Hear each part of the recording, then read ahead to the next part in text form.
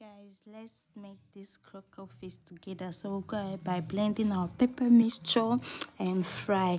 In our frying pan we'll add some salt some seasoning cube and some pepper and some grounded pepper then mix together. Then we'll go ahead by cleaning our croaker fish. Make sure to clean it very well and cut it open at the back as you can see. Then we'll place it on our foil. We added our salt our pepper salt. We're gonna use our hand to rub it very well on the fish so it could enter everywhere. As you can see we'll go with our lemon and we're gonna seal it so we're gonna put this in the oven for 20 minutes and it's ready guys. I'm going to get this down with our chips and some salad guys. This is so delicious.